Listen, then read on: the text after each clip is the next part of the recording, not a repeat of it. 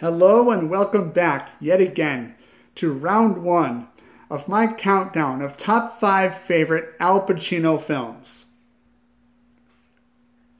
I am the ranting usher. Let me talk you to your seat. With Serpico ranking at number five, and Justice for All sliding in at number four, the third movie on my list is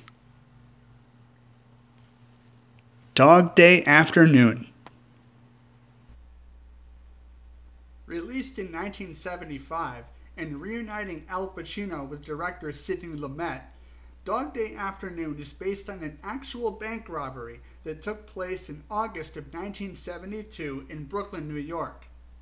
It also paired Pacino with John Cazale, whom you may remember from The Godfather. In Dog Day Afternoon, Pacino plays Sonny Wortzik, an emotionally unstable Vietnam vet who robs a bank to pay for his partner's sex change operation. Yes, you heard me right.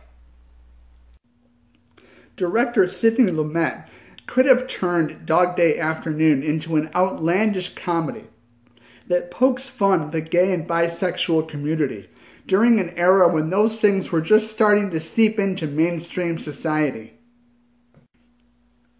Instead, the scenes where gay and bisexuality are discussed are handled very well. They are some of the most dramatic scenes in the entire movie, and they really flesh out the heart and soul of the character that Pacino portrays. That brings me to one of the aspects I like the most about this movie the character development. There are scenes in this movie where the characters are revealed for who they really are, with minimal dialogue.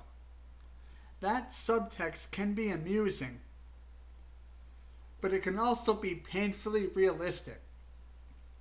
A series of extraordinary scenes involving Stockholm Syndrome, the way Sonny deals with the FBI, along with his rants about society's ills, keep me truly invested in the story. For all these reasons, on a scale of 1 to 5, 1 being atrocious and 5 a masterpiece, I give Dog Day Afternoon a 4.6 rating, and that is why it is number 3 on my list. How do you feel about Dog Day Afternoon being number 3 on my list? Let me know in the comments down below. If you've happened to miss some of the reviews that I've done on Pacino films during the course of this countdown, I will arrange them chronologically on my blog, rantingusher.com, so keep an eye out for that. Thank you so much for watching. I am the Ranting Usher. If you enjoyed this, please leave a like. It would help both the video and the channel out a great deal, and I would really appreciate it. You're also welcome to share or subscribe if you haven't already, and I'll see you next time.